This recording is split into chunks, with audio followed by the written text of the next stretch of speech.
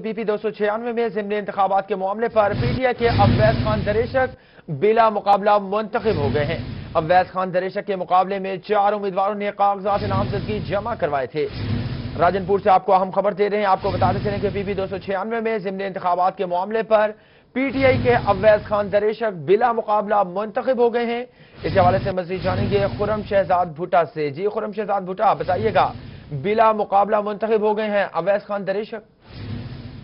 جی بالکل P T I کے جو اویس خان گریشک ہے، وہ بلا مقابلہ ہو گئے ہیں۔ ان کے مقابلے میں چار امیدوار تھے۔ ان چار امیدواروں میں ایک جو ہے، ان کے والد کورنگ کینڈیڈیٹ تھے اور ان کے ایک دوست ساتھی تھے، وہ بھی کورنگ کینڈیڈیٹ کے طور پہ تھے۔ جبکہ ایک تحریک نبیک کے کارکن تھے اعجاز حسین، جبکہ آزاد امیدوار ثناء اللہ کلیم بھی ان کے مقابلے میں تھے۔